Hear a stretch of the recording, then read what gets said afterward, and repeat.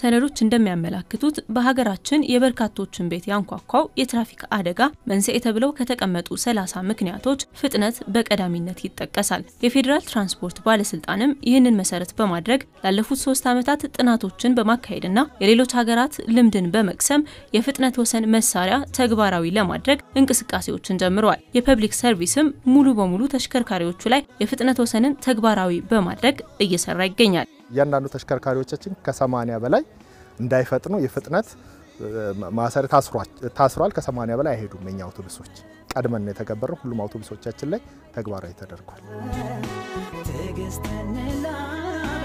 እያንዳንዱ ተሽከርካሪ በ80 ከ80 በላይ የሄደ ያልሄደ ክትትል እናደርጋለን።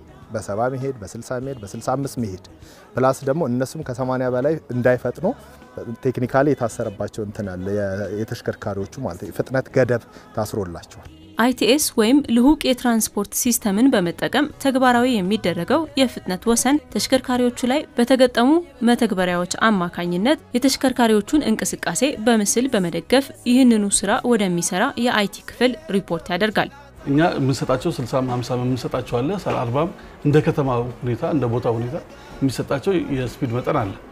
ከዛ speed በላይ ሲወጡ alarm አቸው እዛ ላይ ያለው alarm ለእኛ ይልክልናል።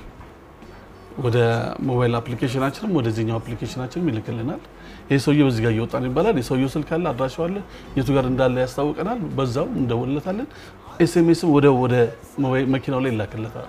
በዛ ምክንያት ፍጥነቱን ይቀንሳል። ከመጣ በኋላ ተግሳጽና ቅጣት የሚያስፈልግ ከሆነ ቅጣት የሚደረግበት ነገር ይኬዳል። የፍጥነት ወሰኑ ተግባራዊ መደረጉ የበርካታ ዜጎችን ሕይወት ከአደጋ የመታደግ ድርሻው እንደማያጠያይቅ የሚገልጹት በ public service ለአምስትና ለአራት ዓመታት በሹፌርነት ያገለገሉ ሰዎች በበኩላቸው ከፍጥነት ወሰኑ ባሻገር ራስን መግዛትና በኃላፊነት ማሽከርከርም ሊዘነጋ አይገባም ይላሉ። የሹፌር የስነ ምግባር ማጣት ብዙ ችግር የሰው ሕይወት ሊጠፋ ይችላል እኮ መካከል ላይ እንደገና ንብረቱም ሊጠፋ ይችላል። የአካል መጉደል ሊመጣ ይችላል። ስለዚህ ያ ያንን ይቀንሳል ብዬ ነው የማስበው ይሄ የፍጥነት ገደብ።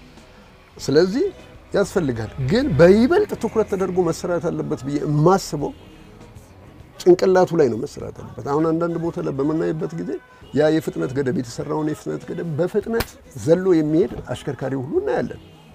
መሆን የለበትም።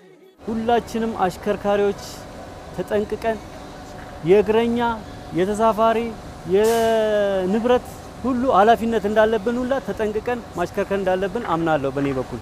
ባለፉት አስራ ስምንት ወራት ውስጥ ሙሉ በሙሉ ተሽከርካሪዎቹ ላይ የፍጥነት ወሰን ተግባራዊ ያደረገው የ public service እስካሁን ውጤቱ አመርቂ ነውም ይላል።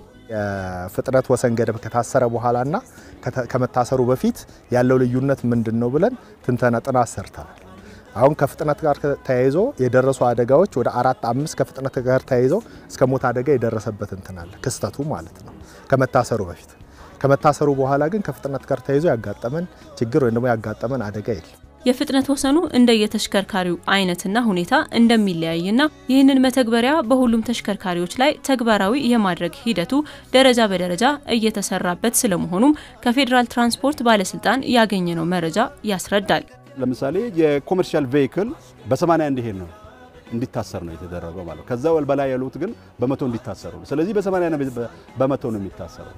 በዚህ መሰረት ከዚህ በላይ ከ80 even 81 ላይ እንኳን ብታደርጊው ተሽከርካሪ ፍጥነት የለውም ማለት ነው 80 ላይ ስለታሰረ ማለት ነው። ከዚህም በተጨማሪ ደግሞ ምንድነው በጣም ትልቁ ነገር geo fence አለ። fence ማለት ለምሳሌ ከተማ ክልል ላይ በሚገባበት ሰዓት ላይ በ40 በ30 የሚከለክሉ ነገሮች አሉ። ሳይን ሜሴጆች የተቀመጡለት ሁኔታ አለ። ስለዚህ እሱንም እያነበበ even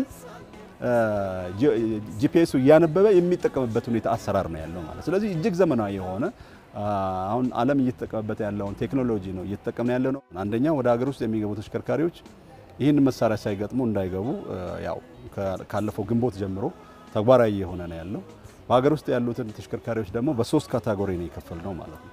አንደኛው የመጀመሪያው ይህን አደጋ የሚያደርሱ ተሽከርካሪዎች የትኞቹ ናቸው የሚለውን ነገር ስናይ የ commercial vehicle ኦች አሉ ማለት የንግድ ተሽከርካሪዎች ላይ የህዝብ ተሽከርካሪዎችና ሲኖትራክን ጨምሮ የመጀመሪያው phase አድርገን በሱ ላይ ትግበራ እናካሄዳለን ብለን፣ በሁለተኛ መልኩ ደግሞ የመንግስት ተሽከርካሪዎች አሉ። እነዚህም አደጋ የሚያደርሱ ናቸው፣ data የሚያሳየው ማለት ነው። ሌላው የዚህ የግል ተሽከርካሪዎች በሶስተኛ ዘርፍ ላይ ነው ያለው።